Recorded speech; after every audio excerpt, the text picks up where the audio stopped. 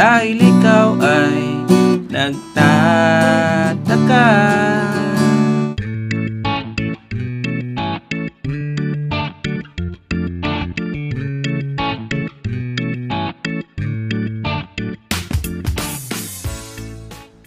Hello guys! Welcome sa ating bagong video tutorial na tututuro natin sa inyo ngayon ay yung original strumming version ng kantang harana ng parokya ni Edgar. Okay?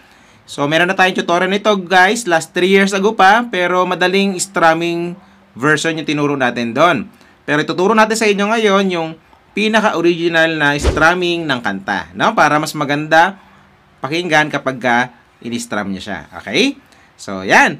So, uh, kung gusto guys matutunan yung plucking version nito, puntahan nyo sa isang video natin. Gumawa rin tayo ng plucking version. Okay?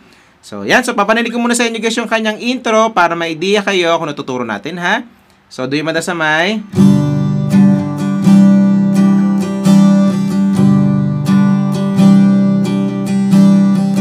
Okay? So, yun siya, no? So, paano yon So, yung mga chords natin, guys, para sa intro ay G.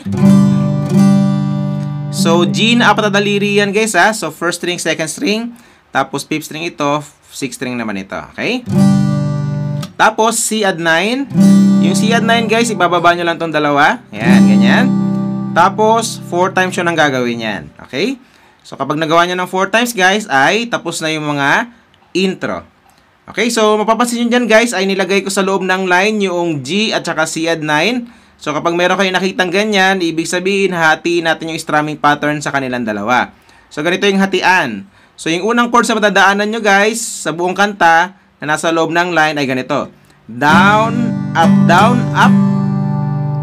Tapos, lipat kayo ng second chords, yung C add 9. Ang mat matitirang strumming pattern ay down, up, down, up, down, down, up. So, ganun siya. So, ulitin natin. Down, up, down, up. Tapos, down, up, down, up, down, down, up. So, ganun siya guys. Pag makuha nyo na yan, ay matutugtog nyo na yung buong kanta. Tandaan nyo, no? Hahatiin sa kanilang dalawa yung strumming pattern. Pero mamaya, bubuin niya yung strumming pattern sa isang chords. Sa chorus pa yon, no? So, yan. So, pasadaan natin guys yung mga intro para mas makuha nyo siya, no? So, pwede nyo ako sabayan. So,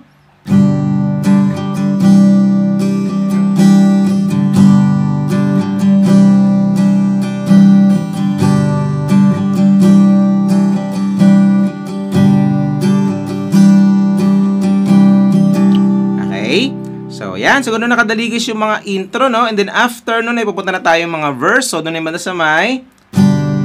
Puso pa ba ang harana? Okay. So, doon yung banda, no? So, paano yon So, yung mga chords natin, guys, para sa mga verse ay G, tapos C at 9, and then B minor. So, kung hindi nyo kaya, guys, mag, mag bar chords, no? Guys, kung hindi nyo kaya guys, guys, wala, sorry. Kung hindi nyo kaya guys mag bar chords, ay pwede rin naman ganito. Yan. So, first string ito, second string ito, third string naman ito. Tapos, pag sinortcut nyo guys yung B minor, ay ang strumming nyo lang simula fourth string hanggang first string. Ayan. Pero practicein nyo pa rin guys yung bar chords ha. Tinuro lang natin yung shortcut para hindi kayo tumigil sa paggitara dahil lang sa bar chords, no? Tapos, pupunta tayong E. Ayan siya. So, third string, fourth string, fifth string ito. And then, A minor, ibababa nyo lang lahat yon. Ayan. Tapos, pupunta kayong B minor. Ang shortcut yan ito. Ayan. Tapos, A minor. Tapos, D. Okay. So, four times yung gagawin yan, guys. Pag nagawa nyo ng four times, ay tapos na yung mga verse. Okay? So, ganun lang siya kadali guys, no? So, same pa rin yung kanyang strumming pattern. Kanta na kagad natin siya para mas makuha nyo, no? Pwede nyo ako sabayan. So, Puso pa ba ang harana? Marahil ikaw ay nagtataka. Pangalawa na. Sino ba tong mukhang gwapo? Nagkanarapa sa pagkanta. Tapos, A minor. Sintonado sa kaba. Okay? So, hindi natin siya buuin guys ng apat na times kasi para hindi tayo makapiright. So, paulit-ulit na lang yon hanggang matapos yung mga verse. Okay? So, ganun nakadali guys yung mga verse, no? And then after nun, ay pupunta na tayong chorus. So, doon na yung sa may Puno ang langit ng bituin at kay lamig pa ng hangin. So, yung banda, no? So, paano yon So, yung mga chords na natin, guys, para sa chorus ay C add 9. so, kung mapapasin nyo dyan, guys, yung C add 9 ay wala na siyang kagrupo, no? So, ibig sabihin, bubuin nyo sa kanyang strumming pattern. So, C at 9, tapos B minor, and then A minor, tapos D na nasa loob ng line, tapos G na wala sa line. wala sa line. Ayan, G.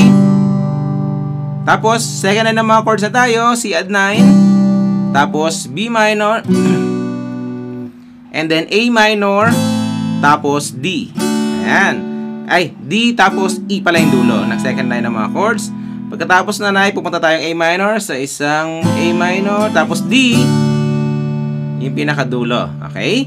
So, yan. So, ganun ang kadali guys yung mga chords ng chorus. So, same pa rin yung kanyang strumming pattern guys. Ang pinagkaiba lang dyan ay yung mga wala sa loob ng line. So, ganun lang kadali. Bubuin nyo lang sa kanya yung uh, buong strumming pattern. Yung dalawang hatian, no? ba? Hinati yung dalawang chords kanina. Ang gagawin niyo lang ay bubuin niyo lang yung mga chords sa isang ay yung strumming pattern sa isang chords. So, halimbawa yung C at 9, bubuin niyo na yung strumming down, up, down, up, down, down, up.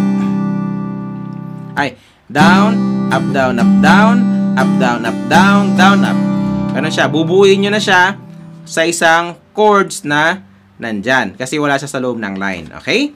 So, yan. So, para mas makuha nyo guys, ay kanta na kagad natin siya. So, pwede nyo ako sabayan guys, no? So, babagalan lang din natin para makasabay yung mga beginners. So,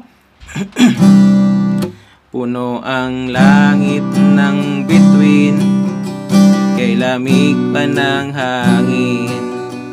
Sa iyong tingin ako'y nababaliw Iliw at sa... Sa kanila naman chords tayo Awitin kong ito. Sana'y maibigan mo. Ibubuhos